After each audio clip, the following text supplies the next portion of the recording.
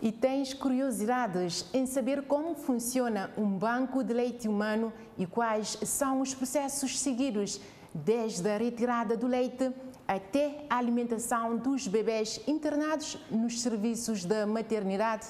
Pois bem, o jornalista Éder Vaz foi ao serviço de maternidade do Hospital Universitário Agostinho Neto para lhe mostrar como funciona um banco de leite.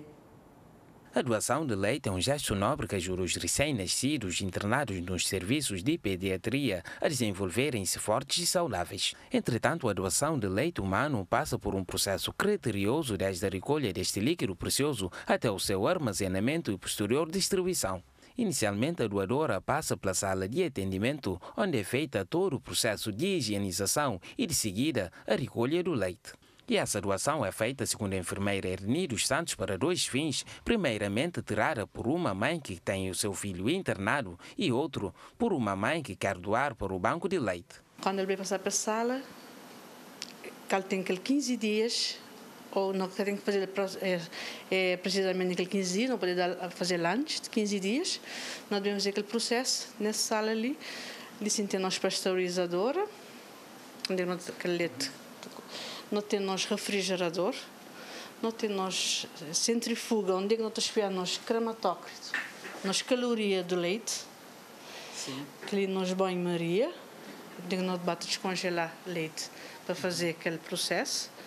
E quando nós fazer todo aquele processo, leite nós mandar para o laboratório, para aquele 48 horas, para, para esperar se aquele leite é apto ou não para ser distribuído para, para aquele bebê se não basta aquele leite que tiver rápido, não tem que fazer uma contraprova naquele leite, para job se aquele leite está com formação de gases na ele, para espiar se, se, se gás que tem, se tem impróprio ou não, se ele continua impróprio ou não, se ele continuar, e nota dar seguimento para ser distribuído para aquela criança.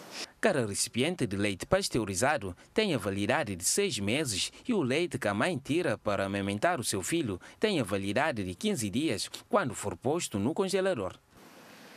E aquele que mãe te trata para bebê para neonatologia, ele tem também validade.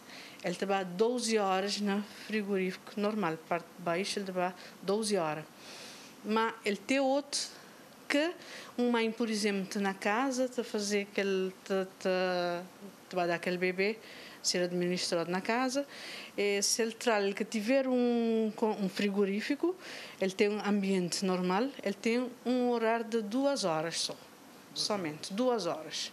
Depois de duas horas, ele tem que jogar aquele leite eh, fora, porque é um leite que já está servir para ser administrado para, para aquele bebê. Criança que não é adequado um bebê alimentar-se diretamente no seio de uma outra mãe, pois poderá existir doenças ou alguma bactéria que é transmitida através do leite. Aconselha, no entanto, que este processo deverá ser feito pela mãe da criança ou nos serviços de pediatria do hospital.